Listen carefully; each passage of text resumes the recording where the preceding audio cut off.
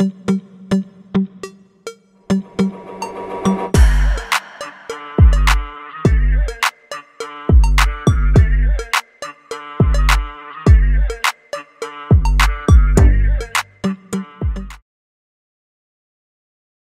back to another episode of the Play Hard Look Dope podcast with your host, Ebony. And Jon. Today we are so excited because we have former NBA, Brooklyn born NBA player Smush with us here today. Welcome to the show. Smush Parker. Smush Yes. Parker, welcome Smush to the Parker. show. How are you doing today? I'm doing pretty good. How about yourselves? Good. I'm excited to have you on the show. I'm excited to be here.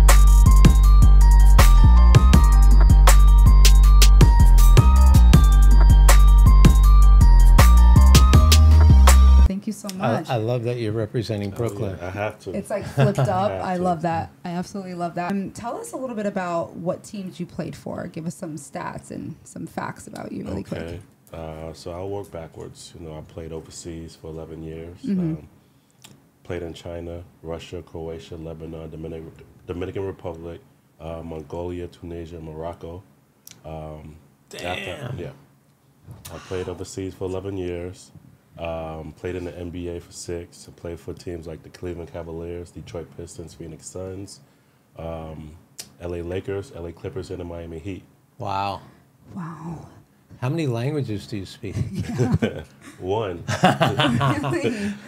So I wasn't anywhere long enough to actually fully learn a language, but I did get the you know the basics, the thank yous, the excuse me's, the good morning, the um, good nights. yeah, how to just communicate on a basic Yeah. level with the people around you. Yeah, exactly. Knowing where the bathroom is key. yeah, totally. Absolutely. wow. That's, I mean, I'm kind of blown away. No, that right is now. unbelievable. How long did your career span in the NBA? So I was in the NBA for six years before I decided to leave. Ooh. Before I decided to travel the world. Oh, wow. We're, we have to get into that. Yeah. Why don't, why don't we go back and you tell us how you got Yeah, into tell the us about your NBA? childhood. Okay, so I was. I actually tell people all the time I was born with a basketball. My mom played basketball. My dad played basketball. I was always around the game of basketball, and um, you know, even when I was you know too big to actually dribble or shoot, I was always, you know, playing with it. Yeah. And um, as I got older, you know, the, I got my little Nerf set. You know, Oh, put- I remember puff basketball. The Exactly. Nerf balls. I Yeah. know what Yeah. those I are. could dunk on yeah, that. yeah, yeah. But then I, I was I was the uh, the true old school uh, basketball player. I used to uh, make basketball hoops out of hangers, wire hangers, and put them up in my door. And I used to shoot with socks. I actually, I can't even picture that. Yeah, Like, totally. You know? like Really? you just ra- you, You round out the, uh, a wire hanger, yeah. put it at the top of the door, Get out. and I used to r- roll my socks up. You I love basketball. Oh yeah, oh yeah. That's amazing. So I, I I was born with a basketball player my entire life, um, all over New York City. Mm, Okay. Did you play in West Fourth? I was born at West Fourth Street. That Damn. was that was my crib growing up. So if you don't know, that is like the hardcore basketball Mm-hmm. of, if not New York, the United States. Yeah, that's H- how do you get into that? Do you just walk onto the court and they let you play? Oh or- no! Back in the day, if, if they didn't know you, you wasn't allowed into the court. Like it's, Get out. It was a it was a community center, pretty much. Oh. I call I call it West Fourth Street Community Center, because Okay. all the guys there played that played there back in the '80s and '90s were family. Mm-hmm. They they all became my uncles. You know, when my dad played, you know, the guys who were waiting to play next would watch me. They would hold me as a baby. They would take care of me.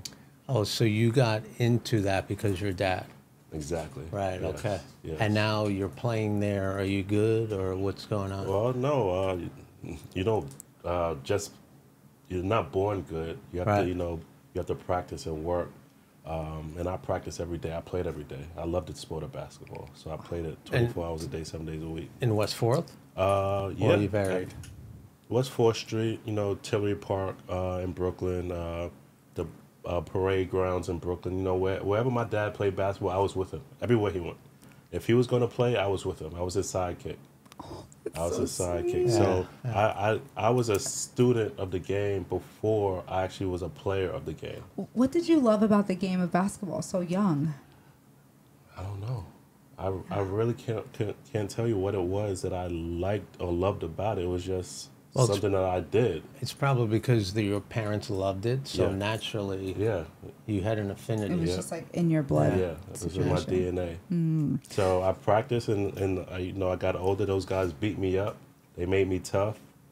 How, how, how old were you when you played your first game at West Fourth? Uh, that's a good question. The first time I was able to get on the main court, uh, West Fourth Street, because there's yeah there's a main court and then there's the, the, the scrub court. Oh, I didn't even know that. Oh, uh, the first time I was able to get on the main court, I think I was about 15 and a half. okay. And uh, it was, of course, after prime time hours when, uh, you know, the prime time players already got their five, six, seven, eight, nine games in. Then they would leave the court. Then the, the, the B squad would come in. And I was able to play with them until I was about 16, 16 and a half. And then I, you know, was good enough to play with the, the prime time guys. At what age could you dunk? 16. No shit. 16. Yes. 16. Yes. It took you one year. 16. Wow. Two handed. Uh, no, not two hands. Not One that. hand, yeah, one one hand. Is that hand. Just harder? Yeah, you gotta Yeah. jump higher. Yeah, Yeah. yeah, yeah. Okay. Okay. So you're dunking at 16 on guys in West Fourth who are like in their 20s and No, no, no, no, no, no. Don't misquote me. I'm not saying I, I wasn't dunking on people at 16 on on on adults. I wasn't dunking on adults at 16. Maybe kids my own age. okay. You know, because the physicality of the game is different. You know, Yeah. those those men down there would would have let me just come down the, the lane and just dunk it on them. What would they have done? Oh, put me into the fence. You know, hit me with a, a Charles Oakley elbow. Oh, or Mason elbow. yeah, exactly. So it was playing at West Fourth not the same as in even high school or the college or the league. It was a lot more rough. Yes. So Okay. playing any street ball is going to be a lot more physical than uh, a league game with officials. With officials. With In officials. West Fourth. No, no, No. Okay. no. Okay. So street ball is a lot Is it- more physical. It's a physical. It's a physical game, more physical game than it is when you're playing with officials, So referees. referees. Yeah. Yeah. Yeah.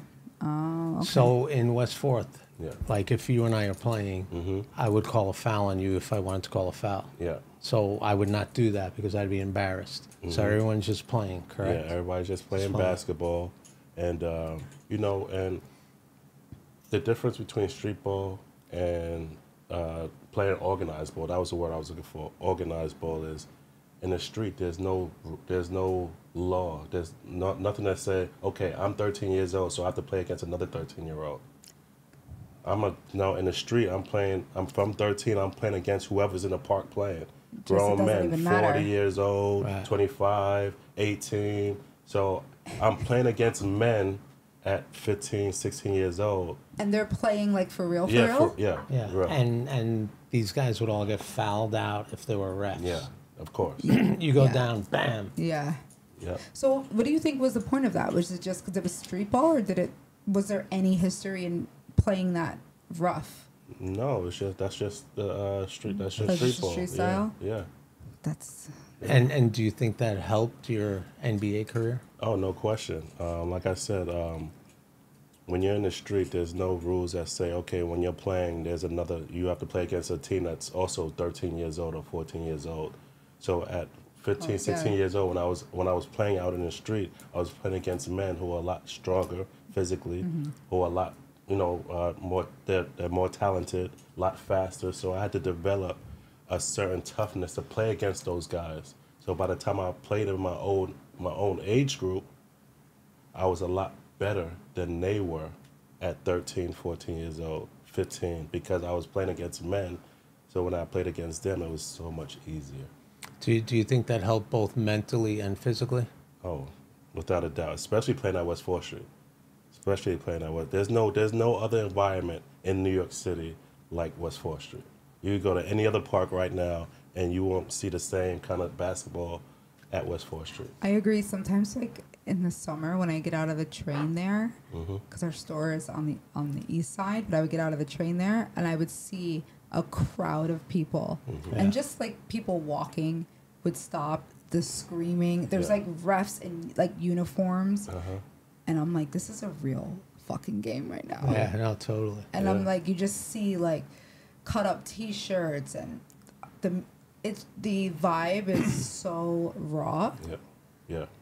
And Was that a time for you that you were thinking about the NBA then, or were you just having a good time playing Both. in West Fourth? Okay. Both, both. So I didn't. Uh, I I didn't grow up thinking I wanted to play in the, in the NBA. I enjoyed watching the NBA. Never did I have a a, a, a mindset to, in in my mind saying I want to go to the NBA. I just love playing basketball, and I love watching basketball. I just love the game of basketball. It wasn't until I'm gonna say when was it that I was like, you know what, I want to be an NBA player? Okay, I'm gonna say when I was 13. I'll give you the story. Really? Yeah, tell I'm, us the I'm, story. I'm, I'm gonna give you the story. So, I, like I told you, I was born with the basketball. I played basketball my entire life. So one through 12, age one through 12, I was just playing basketball. Uh, when I was 13, I moved to Manhattan. Moved to Manhattan, got a chance to play in uh, you know all these New York City uh, Manhattan parks. At West Fourth Street, Anthony Mason was playing. No. Anthony Mason was playing in a championship game I love Anthony at Mason. West Fourth Street, and I'm sitting there, and I'm watching an NBA player now, wow. a New York Nick, playing in the park, I have chills. I know. playing I know. in the park where I grew up, just you know playing basketball every day, and I could see the excitement of everybody. Everybody was excited because there was an NBA player there, and I was excited because it was good basketball. The environment was you know um, very intense, and I was like, that's when it, I was like, I want to play in the NBA.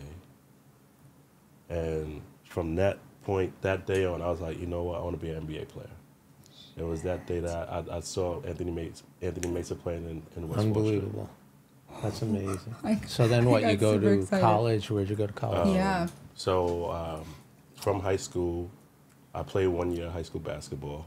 Um, unfortunately, I didn't take school seriously. You know, so I was Neither did I. I, I I wasn't eligible to play on my high school's teams. You know, freshman, junior, uh, sophomore year. I said it in the wrong order. I know. Um, but I played. I don't want people in the chat like, "Yo, Swish doesn't know what he's talking about." That's the order it should go in. Huh? You're- That's the order it should go Yeah. in. Yeah, that's how it should go. yeah. But I played my senior year. Um, uh, I didn't have the grades to go to a university right away, so I went to junior college. Went to junior college in Idaho. Played in Idaho. Yeah, Idaho. Yo. What is Yes. that like? Like, Lots of corn, just get off potatoes. the right? That's what I thought. I was like, you just get off the however you got there, and it's like, whoa, Tractors. It was it was definitely. A, um, it's like those tumbleweeds in the street or Yeah. something. I met people that's never met a black person a day in their life. Get out. Really? That's how. It's, So they it's just looked at you Yeah. like, what the fuck is Yeah. this? Yeah. That's what It I picture. Even now, if I went to Idaho, it's quiet and like somebody's whistling like a Mhm. tumbleweed in their mouth. Yeah, like, that's exactly what it is. Open farm. I went from New York City streets to just open farmland and potato fields And and, you went alone. farms, and I went alone.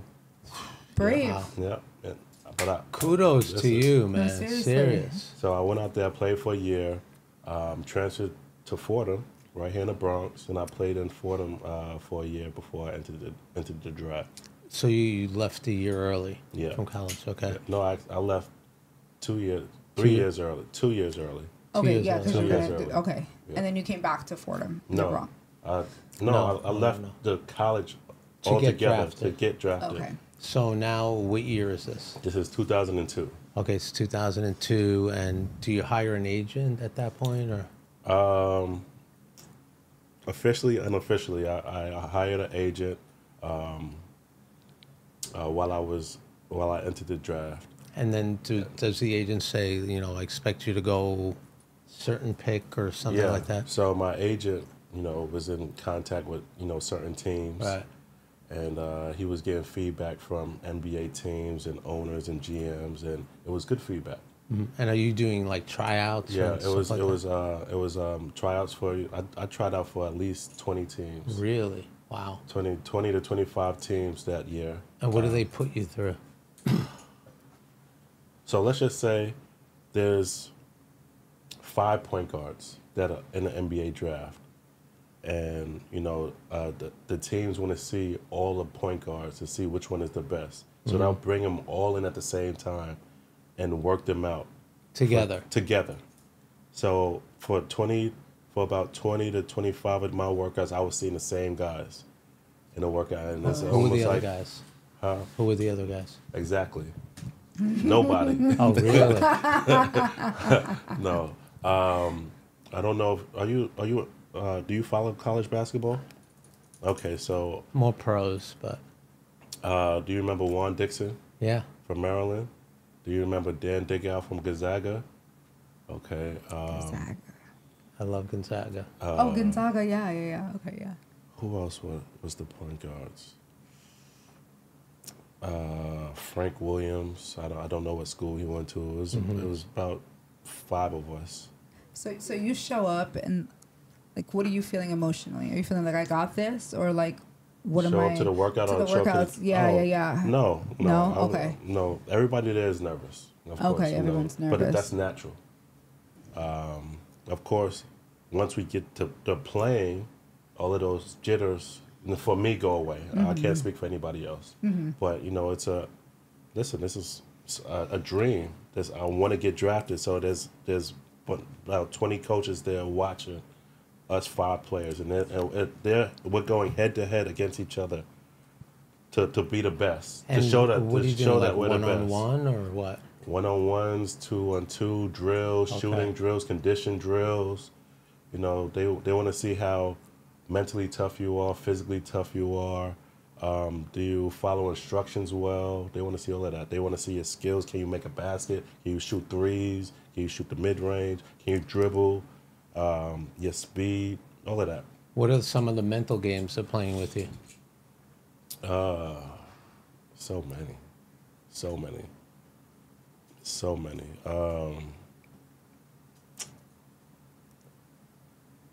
yeah, I don't, yeah. It's it's a blur. Is it's it a, more like they're screaming in your face, kind of like motivating no, you? No, no, or no, okay. they don't. They don't do that in in that in that setting. that setting. that okay. setting. okay. That setting. Because it, it's more like they just want to see if you can, you know, how you how well you match up against your your competition. So in that time when you're competing against the other prospects, are Mm-hmm. you? I don't know. If, are you making f- friends with them? Are you trying Friends. to not friends? no, no, no, no, we're no, no, say- no, I know, no, no, no. I mean, like, are you kind of? That was a good question. I feel like okay, no. In my defense, I have just watched a few training camp things Mm-hmm. on like football, and I've he has me watching all this Okay. shit. And they're talking to each other in practices, and they're not teammates yet, but they're kind of like, "Oh, where are you from? Like, what, what school did you go to?" And they're kind of like chilling out. So that's now. So that must have been his must have been totally I'm from different. I'm from Brooklyn. We don't do that in Brooklyn. No? No. so you're just looking at this other guy like you're. Are you from? Bro- uh, where are you from? No, I'm from upstate New York. Exactly. That's why. Listen, I New York like City. No. New York City is about survival of the fittest. Yeah. Well, I did learn that. Survival of the fittest. So Okay. I'm not there to you know make friends with somebody else. That you're my you're my competition. So it's like- like it's either me or you. Right. Okay. It, listen, I want to play bad. I want to be able to you know make millions of dollars. I want to be able to you know um, provide for my family. And you're the person that might. Is in my way. yeah. Oh yeah. No, I'm not gonna. I'm not. It's What's not your even like where are you from? No. What's- it's No, and, and and that's the difference, and we'll get to it. That's Yeah. the difference uh, between basketball back when I played Right, in the bat totally and, in the different now. sports. Now everybody is They're friends. Ah, friends. dude, I hate they're that. exchanging Everybody's jerseys. I say that all they're the like time. best Yeah. friends. You, you watch a football game, the loser goes up to the winner, and they're See, I both don't like happy. yeah no But I, yeah. I okay. okay. So, so now what happens? Uh, Yeah. You're you're at the NBA Okay. draft. Okay, so yeah, so I'm I'm listen, I'm I'm a modest person. I'm very humble, but when I tell you I'm washing these guys in these workouts, like it's I'm head and shoulders better than these everybody these guards in the workouts. But you know the politics of basketball. You know I don't know if you under, if you guys ever No, heard the politics of basketball. I went to Fordham University. Fordham is not known for their basketball program. Um, it's not like Duke or North Carolina Mm-hmm. yeah. or UConn. Yeah. Or Gonzaga. So Or let's Duke, just say the business of basketball or the politics of basketball. Let's just say me, I'm a twin, and we do exactly the same. We play exactly the same way. You have a No, you- no, No, I'm saying hypothetical. hypothetical. Oh, oh, okay, okay, okay, hypothetical. Let's just say, let's just say, I have a twin, Okay, yeah, and we play exactly the same. yeah. Same stats, same style, same everything. But I went to Florida, and he he goes to Duke. The college coaches are going to go with the Duke player than the Fordham. Well, that that's so they have a reason in case they have to get fired for making the wrong decision. Uh, I don't I don't know about that. I just know that there's a uh, there's politics behind everything. There's a business of basketball, and you know Duke produces basketball. But That's a basketball program. You know what you're gonna get when a player comes from Duke. Right. You know, good coaching. Right. You know, Yeah, you yeah. know, good good Right. coaching. You know, um, they play against you know tough tough tough competition. You know, so they give the upper hand to you know players who come from those you know those universities, those programs. Mm-hmm. So fast forward, I'm I'm killing these guys in workouts. Uh, get to the draft. Um, teams have already told my agent that, you know, he's he's good. We'll we'll draft him, and let's just say long. I don't know what happened. There's stories that say you know my agent uh, said Fucked some yeah, or and there's some stories that say my college coach effed me. Really? Mm, wow. Yeah, so Why would he do that? Whatever. Yeah. don't e- I don't even want to go into that. Yeah, yeah, yeah. Because there's, Yeah. there's a lot of he say she say. Yeah, yeah, You know, for years I was saying, you know, I, I told I've told people that my college coach, you know, uh, effed me, and then I hear that my agent effed me. Uh, it doesn't matter at this point. It- It's, It is what it is. Right. It is yeah, what it is. Yeah, Right. yeah. I didn't get drafted. Let's just put it that way. Uh, How did that make you feel? Oh, it sucked. You know, I had my I had my all my family gathered in one place. You know, we had we were, we had a dinner and uh, we watched a draft and we were just prepared to hear my name and and it didn't happen and it was it was heartbreaking. It definitely was heartbreaking. It was heartbreaking. How long did that sting? Um, it stung for about two three days, really really bad. And But- then what? What do you do then? But, you know, um, we went right back to, you know, the drawing board. Listen, all right, you didn't get drafted. What are we gonna do? You know, there's summer camp that you go to now. Um, you can, you know, there's summer NBA summer leagues. You can still, you're still able to make a team. You just have to do it the hard way. Now you got to work Yeah, harder. you have to work harder. So I was back in the back in the lab Yes. back Yeah. in the lab, yeah. just back to the to square one. And you know, I worked I worked my tail off that summer. I played in uh, there's four NBA summer leagues. There was um, Orlando, a league in NBA league in Orlando, NBA league in Boston, NBA league in Utah, and NBA summer league in LA. And I played in three out of the four. Wow. Oh, whoa. Yeah. So, so did this make you hungry or Yeah, angry? yeah, Like, yeah. fuck I- this, I'm going to I prove had them a, wrong. I had a chip on my shoulder. yeah. I had yes, something to prove. That's key. I had something to prove. I had a chip on my shoulder. It didn't matter who they put up against me. I was, I, I was destroying. You were like, Yeah, you. yeah, yeah. yeah. So, um, how did that um turn into you playing into the NBA? So I, uh, like I said, I played in three out of the four NBA summer leagues. Um, I played well all summer. Um, I get I, now I get an invite to uh, NBA vet camp. This vet camp is the preseason before the NBA season. You know, I get invited to the Cleveland Cavaliers vet camp. You know, um, I think there's about 30 players that get invited, and um, maybe let's just say there's 15 players per team, per roster. Yep. Um, let's just say there's, for for sake of argument, there's nine guaranteed players that are signed for the year already. So that means that there's yeah. six open spots. Okay, six open spots. There's about 30 to 50 players who come in trying to Trying to get that th- those six spots six spots. per team. No, no, it, it give, In that, general, that, that okay. number vary, but It there's, uh, there's okay. only 15 players per team. Per team, right. 15 plays max per team. That's crazy. But then you have to be slotted into Yeah. them needing the position you play. That- the position you Exactly. play, yeah, Right. So yeah. so that's what we did. That's what we did. Me and my agent, we went over every single roster that year, and we was like, okay, We looked at the uh, the teams. Okay, this team has ga- six guaranteed contracts already, but they already have two point guards. You know, in, the, in guaranteed for the year. That might not be a good fit. This team has three guaranteed point guards. That's not gonna, a good fit. You know what? This one only has one. Now there's potentially two to three open slots for a point guard to be signed on this team, and that's what the Cleveland Cavaliers was. They had one guaranteed contract, who was a point guard, and there was about three, two to three open uh, point guard spots. So we figured that was the best place for me to try to make the team. So that's why I chose the uh, Cleveland Cavaliers. That's amazing. It's exciting. Yeah. So, like, were you stoked, Yeah. fired up? You signed the contract I for the had NBA. Uh, here's the thing. Here's the thing. So contracts are funny. I had a non-guaranteed contract my rookie year, non-guaranteed So they could cut you anytime. anytime. So I had a worker's mentality every time I showed up to work. That's like, yeah. I had I need to you know be on my A game the entire season because they could cut me whenever they wanted. And this might sound weird, but that's pretty much is that public knowledge? Like the whole team knows that, so they know that you're uh, the one who has to prove themselves every day. No, okay. Well, you know what? No, I- I'm not gonna say. It. I'm not gonna. The guys probably the guys probably know, yeah, but it's not like just open. open knowledge. Information, Okay, okay. Because I'm wondering if they kind of maybe would treat you different in practice, knowing that you could be cut at any moment.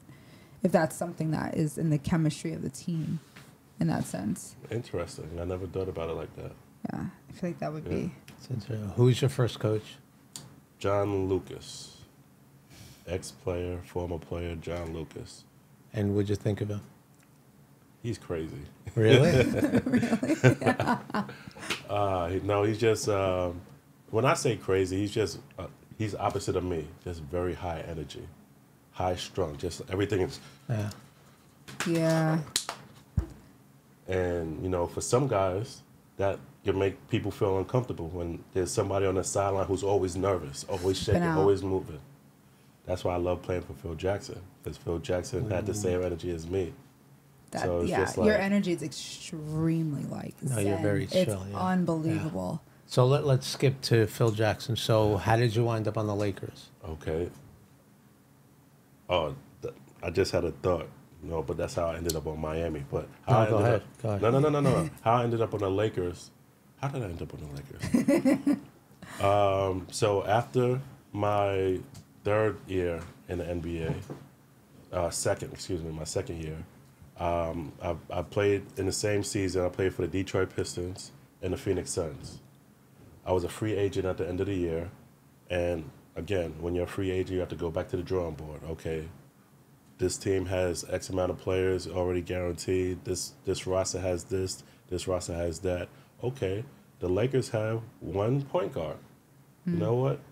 My agent got on a um, on a uh, phone, called up the Lakers, said you know Smush is interested in you know playing for your NBA summer league team. So I, again, So you I'm had a- to try Back, I out. had to try out Yeah. again. Yeah. Damn. Yeah, I had to try out again. So I'm playing on the NBA, uh, Lakers NBA Summer League team. I play well. They invite me to their vet camp.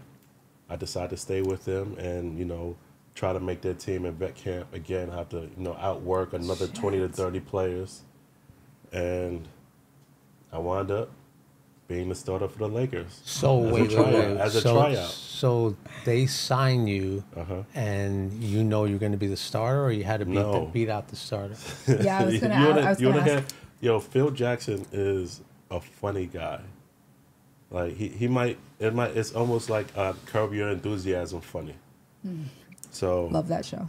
so when I'm the whole time I'm trying out for the Lakers, you know, through you know the vet camp, he called me everything but smush, smuck, smack, smooch, smack.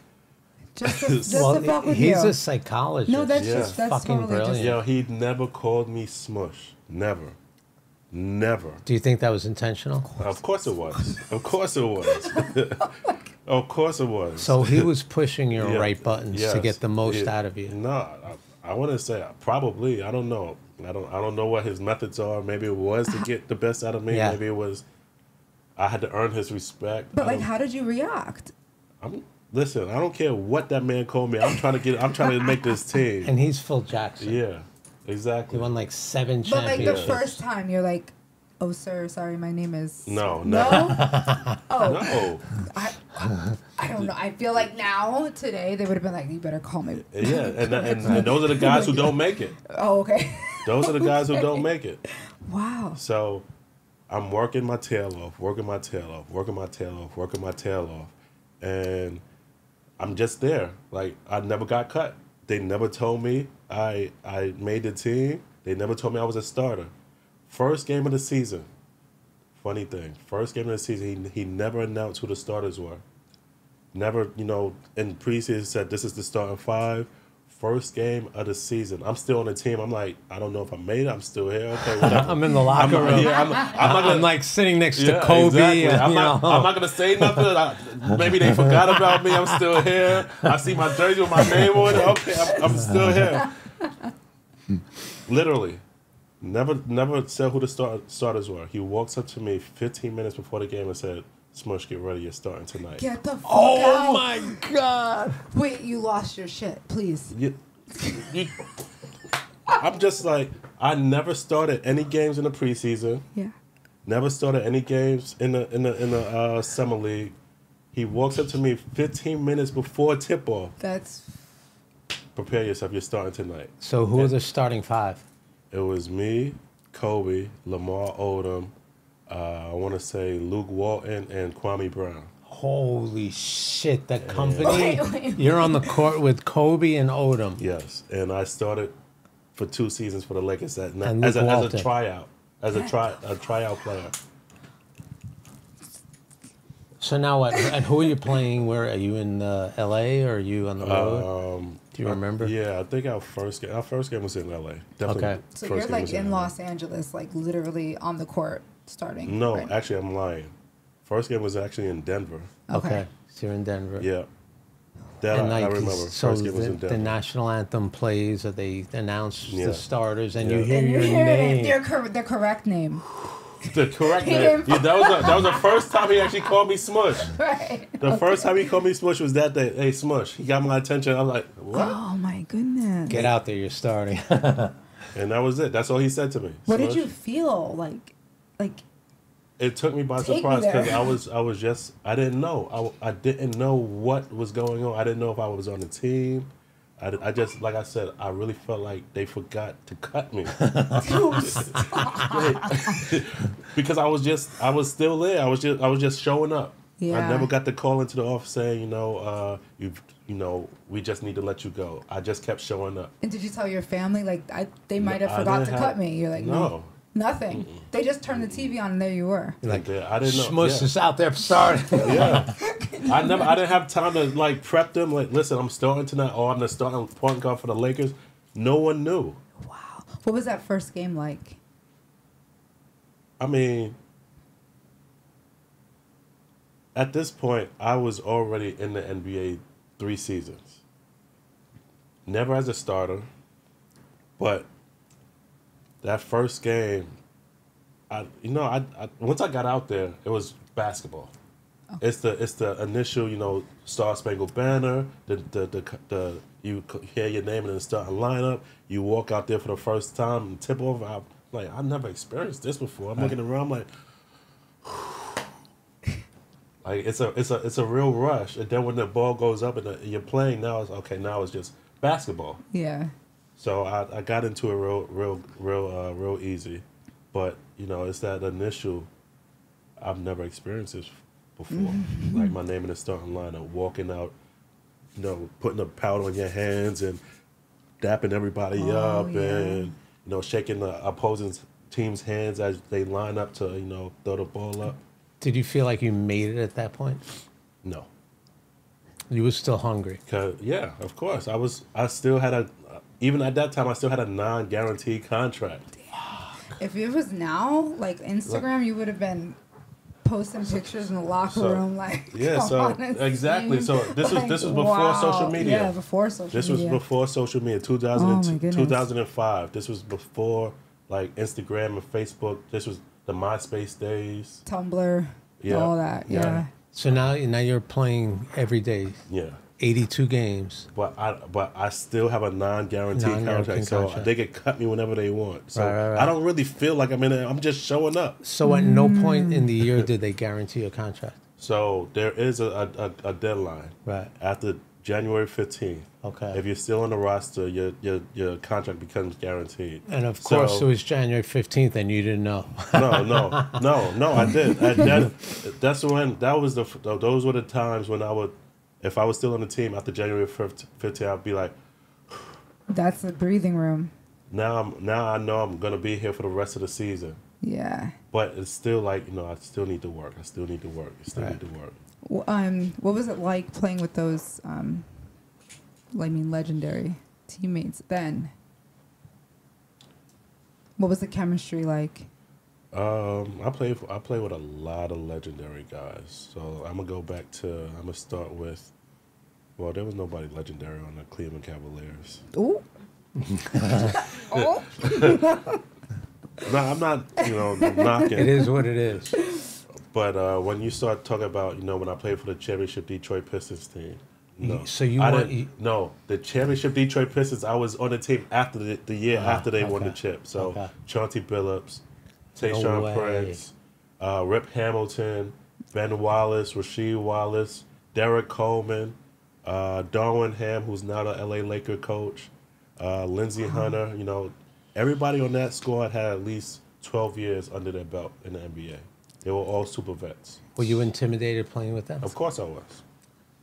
Of course I was. And, you know, they was they was coached by the uh, legendary coach Larry Brown, Larry Brown. who coached AI. Wow. Larry Brown. I played for some legendary uh, coaches But also. so hold on. So you- you're on the Detroit team, and are they like cool with you? oh or- yeah, no, those guys are super cool, super cool. Like, there's no, uh, there's nothing negative I can say about any of those guys on that team. And how No. about Larry Brown? Is he Uh, cool, or he doesn't he- fuck with you know No, no, he, no, no, he, he, fu- he. f- Are we allowed to? yeah, Yeah, yeah, yeah, yeah, yeah, whatever Yeah, you want. He fucks with, with the young guys. He's hard on his players, but he's a great guy. His the his, his coaching style is not who he is as a man, and um, no, it was it was hard for me to like really play for him because he's an over coacher. He you, you can hear even when you're watching the games on TV, you can hear him screaming from the sideline. yeah, yeah. Yo, you- go ahead. you That can hear him through the TV. Fucking stress. So yeah, exactly. So for me, again, for me, I hate that because now it makes me a tense player, Tense. and I'm not a tense person. Like when I when if I have to do this, I'm no good. And I'm like, you see, I'm very relaxed. I was Yeah. a very fluid player, very athletic, very graceful. So I, you know, I I did. I, I'm gonna say I didn't play well. Um, I had flashes in Detroit, but I mean, I didn't get a lot of playing time because I was playing behind Chauncey Billups. Yeah, You know, they just won a championship. Yeah, I was. Yeah. They just won, so they didn't really need me. no, I was like the, the third string point guard. right, right, right. So I have a question. Yeah. This is um a little off the track of the stats and stuff. Mm-hmm. Um, what was the environment like off the court, outside of the gym? Are you are you hanging out with players, or, or does everyone stay to themselves? Do you party? Do you go out to eat? Things like that. Well, it depends on what team you're on because everybody has a different nucleus of how they, you know, uh, operate. Uh, for the Detroit Pistons, you know, since we're on that team, um, you know, everybody has their own family. Everybody has a family, you know, wife, kids, Yeah. you know, they have their own family, but there are times when they do come together outside of practice to, you know, play cards or to go out and, you know, have a drink or two. Um, uh, everybody, I hope I don't get in trouble for this, but there were about six, seven, eight guys on Detroit that like to gamble. That's I'm gonna just leave it there. We leave it there. Just leave it there. then I also Okay. played for the Phoenix Suns. I played with Steve Nash. No way. Yeah, Amar'e Stoudemire. I, I love Amar'e. Mm, Yeah, he does. He's a New Yorker too. Yeah. Yeah, Amar'e's from He lives York? in New York. He lives Okay, in New York. okay. Okay. Yep. Uh, Maurice Stoudemire. This was Shawn Marion. Uh, this was, uh, was it Raja Bella was there? Leandro Barbosa. That uh, uh, coached by D'Antoni. D'Anto- oh, and then he coached the Yeah. Knicks after Yes. that. Yeah. Yeah, so Was was he uh, tough, or no? He let you do No. whatever you want. He was, he was, just one of those coaches that just let you play basketball. And do whatever you Just want. let to it do. Just let you happen. play basketball. Yeah, yeah. I, I kind of like that though, It's like just show up to the game. and Yeah. do what you do your You job. could be drunk or not, but So Um, yeah, he was just a free coach. He he didn't overcoach. He wasn't a screamer. He was just you know, a free free flowing offense, free flowing offense. I have another interesting question. I um only know about Phil Jackson from the recent like documentary. What was like s- something a little off-brand that he made the team do to sort of get in your head? Um, there we was a called few him by the wrong name all the time. Sorry. There's a there's a few things. So I will say that he did um, offer uh, the team each player. I guess he he knew each player's personality, and he would give us a book to read. Wow. He would give us a book to Wow. read. Now I don't remember the book he gave me. I don't, and I don't even remember if I read it or not. but he, he did. He, I, he that was one of the things that he uh, he uh, did. You know that was kind of awkward that I never experienced from any other coach, and and also in film sessions, um, he would actually have us like meditate, so that we would so we would focus more on what was you know the information that was about to come to us. He he had us like just go into these Zen modes and you know just to clear our minds and just clear our spirits, so that whatever he was about to teach us, we would be open to, to receive it. Do you Yeah. think that that worked? Of course, Yeah. of course. So, out of all these amazing Hall of Fame coaches, who was the top for you? Phil Jackson, no question, no question, Wow. no question. I gotta ask you because I feel like people are gonna want to know what was it like playing with Kobe Bryant.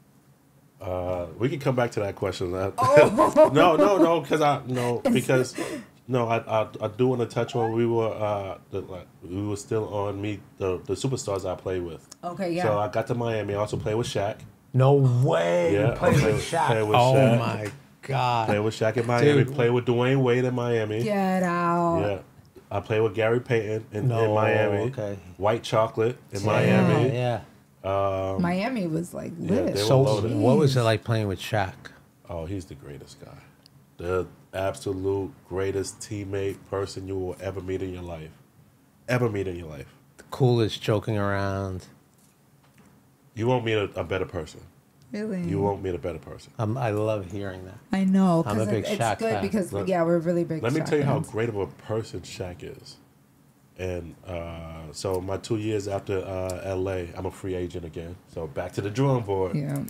Damn. Um, I am in 4040, Jay Z's uh, sports right bar, here. you know, watching Mm-hmm. Yeah. a, a Roy Jones fight. I'm there by myself. Um, Shaq comes in, he's by himself. So, have you guys ever been to 4040? I have, So, yeah, yeah, we have, I'm, yeah. I'm in the upstairs in the VIP room by myself, just watching the fight. They know that we're NBA players, so they tell Shaq to go up there, smush it up there. So Shaq comes up there, and we're talking. It's just me and him in this big ass room. I'm sorry. You could say that. It's okay, fine. it's- Okay, yeah, this yeah. this big room in the VIP room, just watching the fight, and we're talking. We're having Kobe jokes, of course. All right, right, right. And he's like, "Yo, so uh, where you playing next season?" I said, "Yo, I'm a free agent uh, this year." He said, "Hold on." He makes a phone call. Right there on the spot, makes a phone call. Nobody picks up. He didn't get an answer. The very next day, I have a contract. My agent has a contract from the Miami Heat. Guaranteed? N- guaranteed two years. guaranteed. guaranteed two se- two years. This is my first guaranteed contract. He's a good guy, That's Shaq. a, that's a good guy. Wow. But you're a good guy. and that's you're a good why. guy, yeah. You're a good guy. and a great and player. he realized, yeah. He would, n- yeah, Yeah, he wouldn't do yeah, that for someone who's like yeah. complete. And, and, and of course, I had to I had to be a, a good player, Good player, also. yeah. Like, Right, I, right, right, I'm, right, I'm right. sure if I wasn't a good player, he Right. would have never made that phone call. Totally. totally. Right, right. But That- that's that's my Shaq story. Like I, I never met Shaq before. Never met him. That was the first time I ever met him in person. I played against him a few times, but Yeah. like talking and interacting, first time, and he did that for me. Wouldn't you love to know what he said on that phone call? If you ever get the chance to find out, be like, what did you say on that phone call? Yeah, He's that would uh, that would that would that would be pretty cool. But that was my first guaranteed two two year contract. amazing. That's an amazing story. Yeah. Do you uh, still talk to Shaq? Nah, he's too. He's too. He's he's a bigger than life. He's out there he's, now. He, you know, he's everywhere. He's Yeah, he's literally announced. He's everywhere. everywhere. He's Yeah. he just did a podcast like recently. He's everywhere. What is he not doing? He's DJing. He's and- like Snoop yeah, Dogg. Just Yeah, that Yeah. publicist works Yeah. hard. yeah. How was uh, how was it playing with Dwyane Wade? Oh man, he's uh he's almost he's he's like me. Just very quiet and Really? Really? calm. Yeah, Really quiet. yeah. He's a he's a quiet guy. I don't know to why I never got that from him. So what about Shaq? Is he like?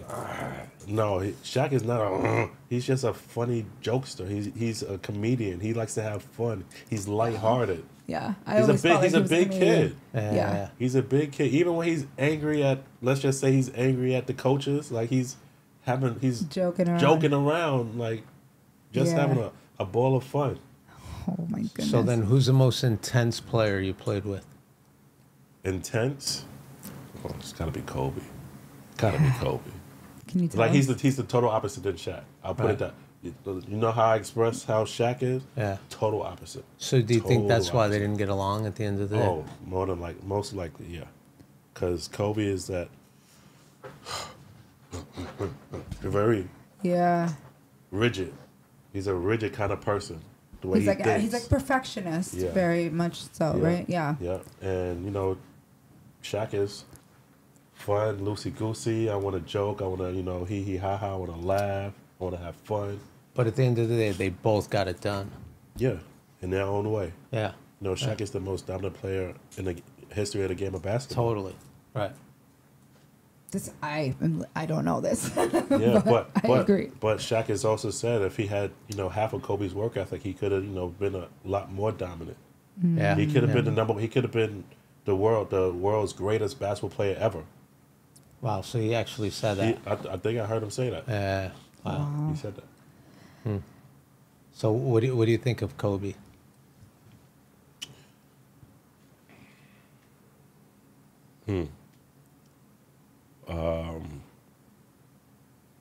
What do I think of him? He's uh. I will say he mastered his craft. Okay. He is a genius at his craft. And when I say genius, you know, geniuses at whatever they do, they're socially awkward. It doesn't matter who you are. If you're a genius at your craft, that means you have buried yourself in it so much that you don't even know how to relate to people yeah, it's because they they think differently. To, to get to that level, you have to think outside of what normal people think. So his mindset was a lot different than everybody. And I'm gonna just leave it like that. That's cool. You know, that no, I'm, that's no. Yeah. He just he. It was a he, he was a. I enjoyed playing with him. I wouldn't be the Smush Parker you know today if it, if I didn't play alongside Kobe Bryant because that's the first thing people say. Oh, you were Kobe Bryant's teammate. Or you were Kobe Bryant's this. Or you play for the Lakers because they know the Lakers because of Kobe Bryant.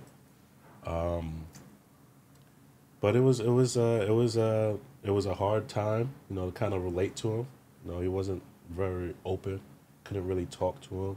Yeah, like you said, like a little Yeah. socially Yeah, awkward. he Yeah, he was, because he was awkward. vibrating at But- another level. Yeah, but he was he was he proved he's a winner.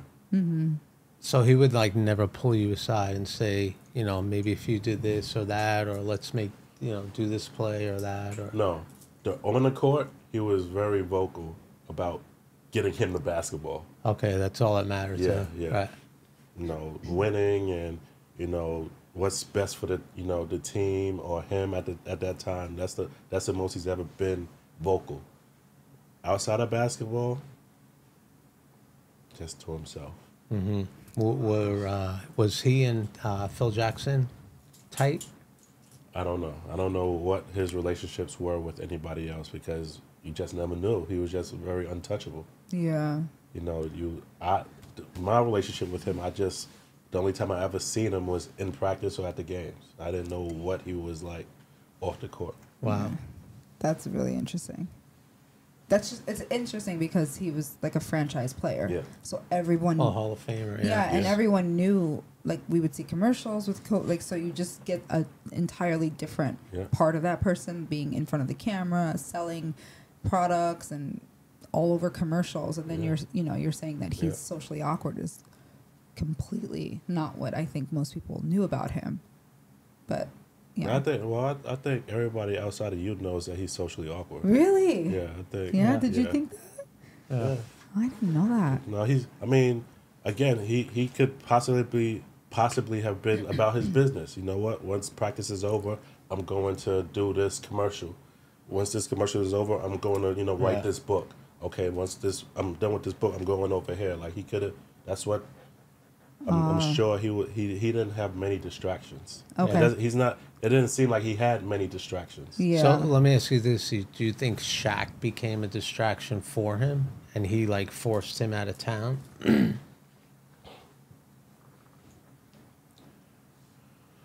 Ah, you're gonna get me in trouble. No, that's a good You're question. gonna get me That's in a good question. trouble. That's a Because speculation. like if, if they if they didn't part ways, they would have won so many championships. I'm gonna tell you like this: at the time that Kobe and Shaq split, Kobe did not want to share the limelight. yeah. yeah, I'm Yeah. just, I'm just gonna, Yeah, you know, no, I I'm mean, just gonna Yeah, be very, everybody, just everybody gonna, can feel that. just yeah, gonna be Yeah. very blunt, just Everyone, be very yeah. open. yeah, everyone. Kobe wanted to be the best player. He wanted to be the best player in the world. He wanted to, he wanted to win MVP. He wanted to win scoring titles. And anybody who was on the team that was gonna, you know, keep him from getting his shots to do that, he didn't want him around. Mm-hmm.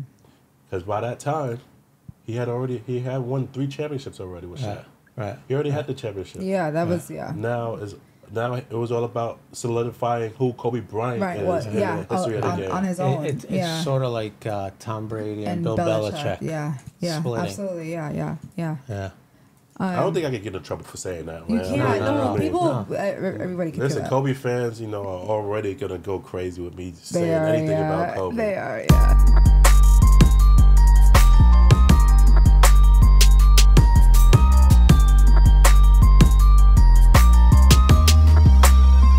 This part of the show, we like to ask our guests some rapid fire questions. Uh oh. These are like Uh oh. maybe like one or two sentence answers, pretty fast. Okay. And there's only there's only a few. What was your most memorable moment or game in your NBA career?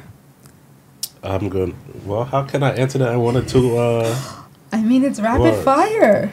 okay, I'm gonna say the the playoff series against the Phoenix Suns. My still against Steve Nash. Did you start against Steve Nash? Yes, I did. yes, I did. What challenges did you face during your NBA career, and how did you overcome them? Uh, I know that's a hard rapid fire, but Well, the business of basketball ultimately took me out, and uh, how did I def- how did I defeat it? I left. Ha ha ha. That's I, good. I, I I left the NBA and went overseas. okay, wait. I just have to ask. Why did you Why did you do that? Okay, so the business of basketball, I I didn't know anything about the business business of basketball. I thought basketball was a sport. That's how I approached it. As a sport, it's supposed to be fun. If I if I work if I do this in practice every day and I'm the best player, I deserve the the most minutes. I deserve to get on that team. I deserve this contract. It wasn't like that. The business of basketball determines whether you make a team, get the shots, get the minutes. Exactly. like- so exactly. So it took the joy and the love out of the game for me. So I decided to leave the NBA because I, it wasn't fun anymore, and I went overseas where it was still a sport. That was fun. That was fun. yeah. That was fun. Oh, listen, overseas I was the Kobe Bryant of the team. That's I was the. Michael Jordan, the Allen Iverson. So Okay. and you were cool. and I was cool. Yeah. And it you were was- having fun. Yeah, and it was fun. I was Yeah. traveling the world. I was seeing you know lands I've never even dreamt of uh, touching before, and playing in front of fans that I never even thought you know watch basketball, Hmm. and it was fun.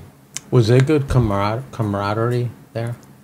Yeah, With they, the teammates? They, they they build a different they build a different environment overseas than they do here in America. Here in America, basketball is more is more individual.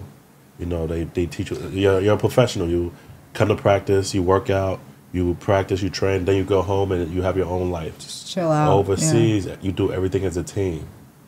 You eat as a team, you travel as a team, you practice as a team. you eat some more as a team. So it's more team oriented. Club. It's more of a club, you know, oriented than a business. Uh, than a, a GM owning a team. Okay, that yeah, it's that's It's like a family. Yeah, it's Family, I was gonna say Yeah, it's a family. family. um, next question. Yeah.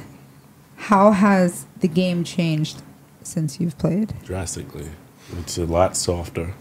Softer. Um, Yeah, uh, it's a lot softer. Uh, a lot more threes. Um, uh, it's a pos- po- positionless basketball game now. What does that mean? So when I played, there was a point guard, there was a shooting guard, there was a small forward, power forward, center. Now, everybody's a point guard, everybody's a shooting guard, everybody's a small forward. There's no true centers. There's no true power forward. There's no true small forward. There's no true shooting guard. There's no true point guard. Everybody is just one through four can play all five positions. Well, you got Luka, seven foot guy shooting Yeah. three pointers. Yeah. He's playing So point it's guard. like Yeah, it's positionless. Like it's, there's It no just true doesn't even really position. matter. No. No, because now everybody's playing small basketball. You can put five, four guards out there and, a, and one big. No. so does that make it more of a selfish kind of game while they're playing? It's just like give me the ball, like does it's, that it's more one-on-one style. one on It's one? more open court styles. If I get it, now it's my turn to go. Yeah, it's different now. Yeah, I It's soft. It's soft. Yeah. Yeah, yeah. I, I I can feel that. Do you feel that the referees get too involved in the game today? No, not at all. The game needs the referees. Because if we let the players just play, it would get so out of control. It would be like, players, tough. don't, players don't understand how important referees are. I feel Right. like the referees get too involved. You don't think there's too many foul calls and Oh no, I, I I do. I do. I do believe that there might be a lot a lot of foul calls now, but at the same time, if we just let these you know guys just run around and you know play the game like there's no law, it would get out of control. Mm-hmm. Like these young guys are already out of control. They don't they don't know how to control their bodies. In terms of injury And- or in terms of competitiveness? And, They don't. They the- don't know how to control their, you know, like driving to the basket, you know, being balanced, or you know, just not knocking people over. Okay, yeah. You know, they they don't they don't know how to control their emotions. You see them, you know, arguing calls all the time. Yeah. yeah. so it's like walking on the sidewalk in New York City every day. Exactly. exactly. Next question. What do you miss most about playing in the NBA? The competition. So you know, as I as we walk through this, you know, this this uh, my journey, you know, at every level, every year, I had to work my way onto a team. It wasn't until I got to Miami. Yeah. that I had a guaranteed two years. So I had to go in every day and fight and beat out tens and twenties and thirties of players for a spot. So I had to find a way to be the best. And that was what did it for me. Finding a way to be the better player than the next guy, be the best athlete than the next guy. That's what I miss. That would have wore out. It's hard, that's, man. Yeah, Yeah, that's like, That's what I miss. yeah. Next question. Are there any regrets or things you would have done differently in your NBA career? So I don't live with regrets. Um, if I would, if there were things that I could have done differently, I might have taken my my time, my relationship in LA with Kobe Bryant differently.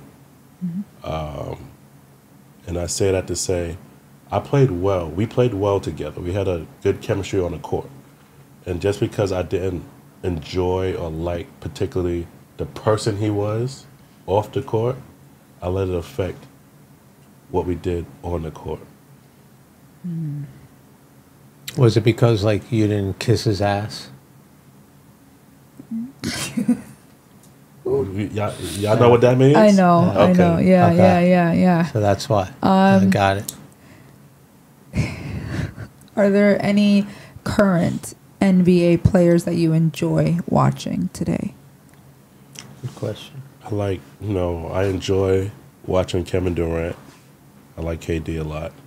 I like uh, Stephen Curry. Um, I like watching guys like Damian Lillard and Giannis, um, Kyrie. I like watching Kyrie. Kyrie's a very skillful player. Very energetic. Oh yeah, oh yeah, Yeah. oh yeah. Um, and then there's a there's some other guys, but those are like the top of the guys Those on are your my main. list. Yeah, main. yeah. Um, what are some of the biggest misconceptions or stereotypes about players in the NBA that you'd like to debunk? I can't debunk any of them. They're all They're all true. No, but NBA players are known for partiers, but you don't party. Yeah, and you I don't never party, did. so and you I- never did. Yeah. So yeah, That's a I never, debunk. So no, because there are a lot of NBA players that actually do party. It's just me. I Right, was, that's what I'm So the stereotype Yeah. is true, is Right. what Yeah, he's saying, but you're the true. exception to Yeah. the stereotype. Yeah, I never got into party. I never, I never drank. I never smoked. That's good for you. Don't start now. wow. Y- you have any like guys that would go out and party a lot and, you know? Listen, I, I don't want to get in trouble. No, yeah, no. I'm not. No, I'm, give not us a I'm, not gonna name, I'm not gonna name any names, but Right. there, you know, there are guys who actually go to practice straight from the club, or to the game straight Yeah. from the club. Yeah. or play a game like just straight from partying, like drinking, and that, that's how they play. That's how they play wow. better. Wow. And were these like star players? Yeah, Wow. Wow. yeah, Oh, I, I, you hear a lot like in the NBA, like the stars would have a handler and they'd see like a hot chick Mm-hmm. in one of the rows and they'd be like, bring her. And does that happen? They bring her back Yeah. to the locker room? Really? not to the locker room, but That's like okay. really so, cool. so, so. That's crazy. Uh, that's that's classified information. Yeah. That's classified. I don't know where you get your tea. um, no, but the first time I was privy to that, I was a Laker and I was on a bench. You know, one of the you know few times I I was actually sitting on a bench, and uh, like how I do that. in the- That's. But players, when you're sitting on a bench, you can actually see who's sitting up in the stands. Like you, you, you're paying attention to the game, but you're like Oh, also get out. scouting. You're looking, and then if you see somebody, and you make eye contact, then you can send a ball boy up. You'd be like, The listen, ball. the Get ball- out. the ball. You'd be like, you call a ball boy over, be like, there's a chick sitting, you know, about twelve rows up, six six seats in, you know, you know, get get a number for me, and he'll go Get up, the he, fuck out. go up and say, you know, X, Y, and Z, you know, wants your number, and they'll come back with the number. But like, did she like say hi to you or something, or just you No, look at her, Eye contact. eye contact? And, and what if you say the 12th row and he goes to the 13th and there's this big aunt, this big, but then Nah, he gets nah, nah, We're number? very descriptive. We're, we're, nah, nah, nah, no, nah, he's nah. like she's wearing a yellow yeah, shirt. Yeah, yeah, Yes, absolutely. Yeah. Final question. yeah. Final question. Any advice for any young player out there who wants to make it to the NBA? What would you tell them? The biggest thing is understanding that basketball here in America is a business. It's a business. Get your mind wrapped around that right now. Because, you know, they teach, I don't know, I'm, I'm going to be real honest right now. They teach little black boys that basketball is a sport. Oh. They might teach That it's a it's a business. it's a business, and that's why you see them, you know, thinking about owning and becoming GMs and coaching, like because they understand business. There are other avenues if the basketball, the sport doesn't work out. They're thinking, okay, I could So do something else other than just playing basketball. and then the the players, you know, are their careers shorter then yeah, because to them it's a sport. it's a and to them sport. It's a business. So, I would say it's a business. It's a job. It's like Mm-hmm. any other job. I wasn't approaching the game of basketball like it was a job. So when it became a job, it became not fun.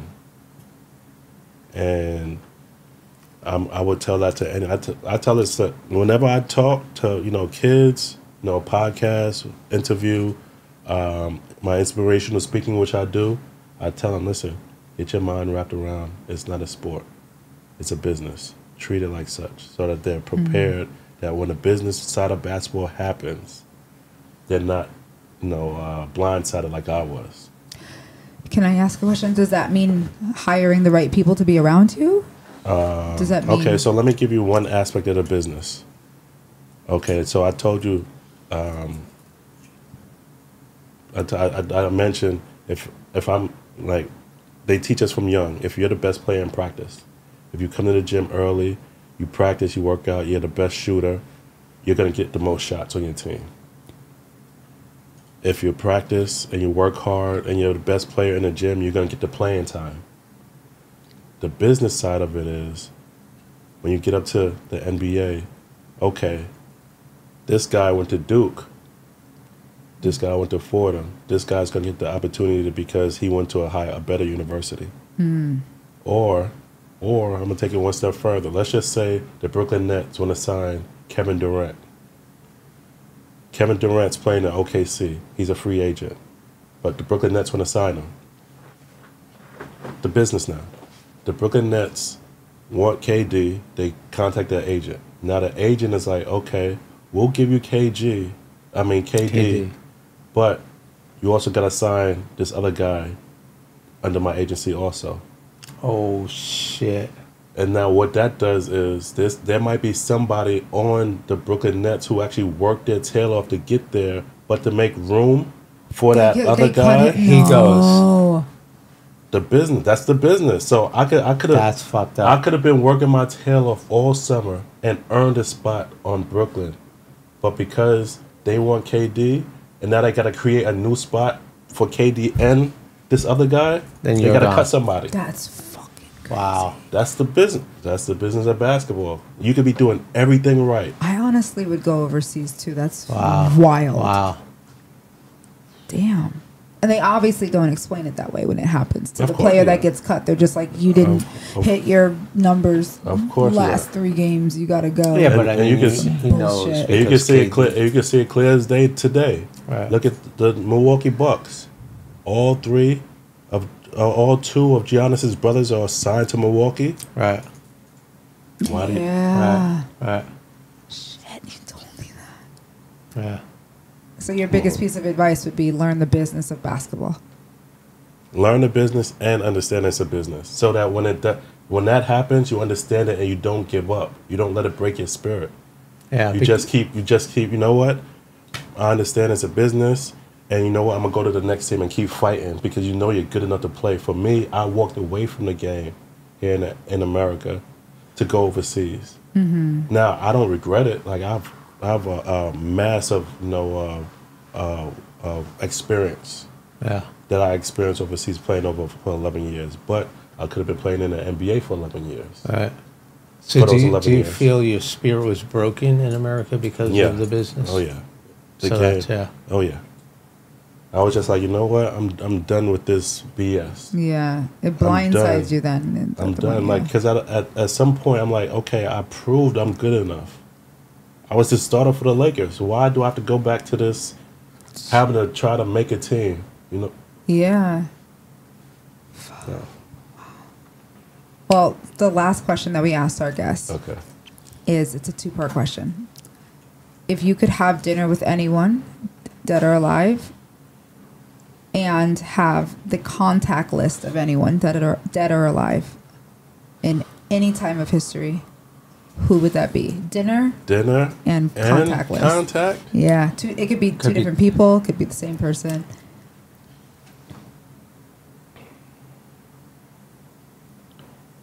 Dinner and contacts. Dead or alive. Mm-hmm. I mean, I already met Michael Jordan. Damn. I already, you know, broke bread with him. You know, had dinner with him before. Uh, so that's already in the bucket list.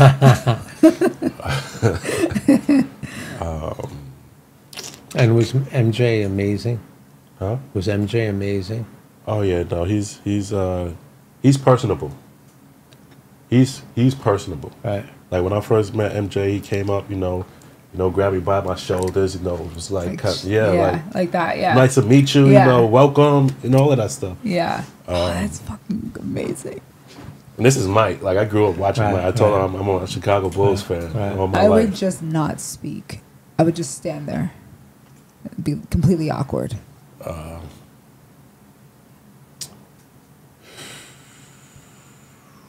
I always, it might be weird, but I always wanted to meet Michael Jackson. Yeah. Yeah.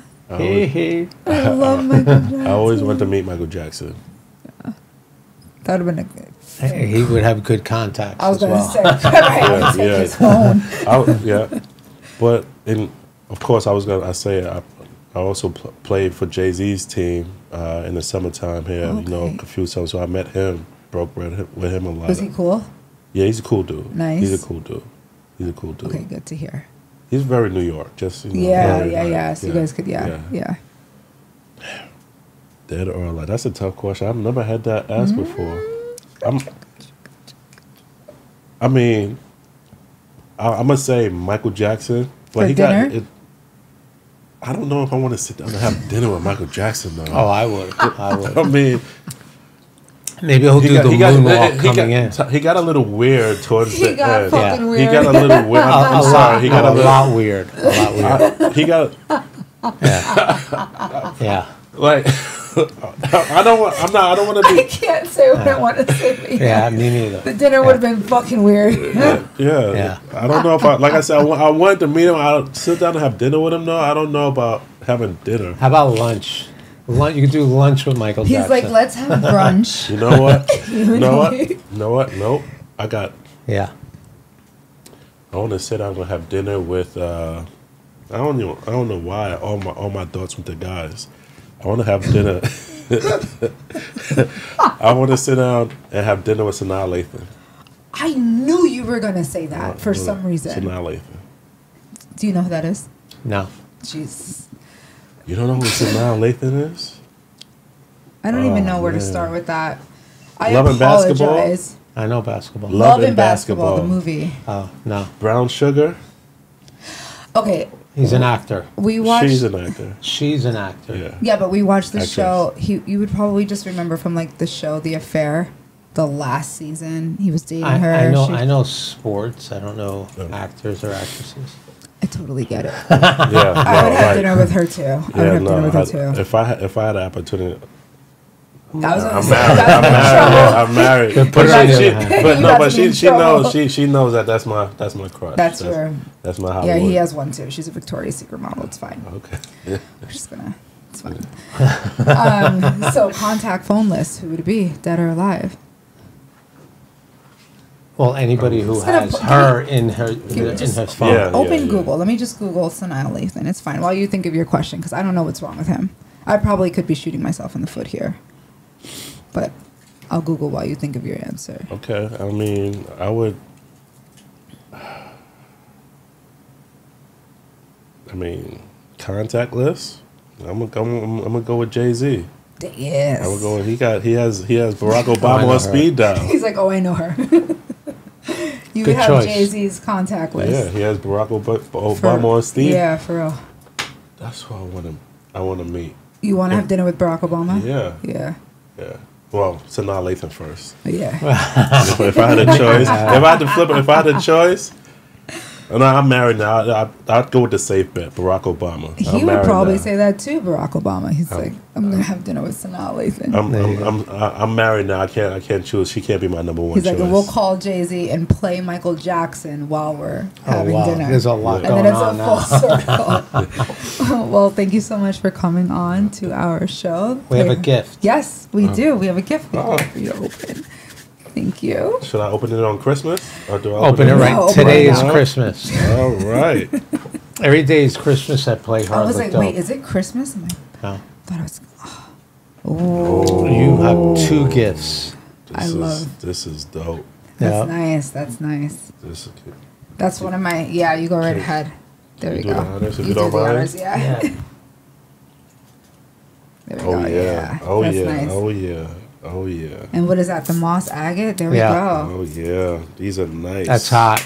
Yes. Yeah. Thank you. I love that. Thank you Thank so you. much. Thank you. It was so much Thank fun. you. Thanks for Thank having you me. guys for listening to the Play Hard Look Dope podcast. We will see you next time. Peace. Peace.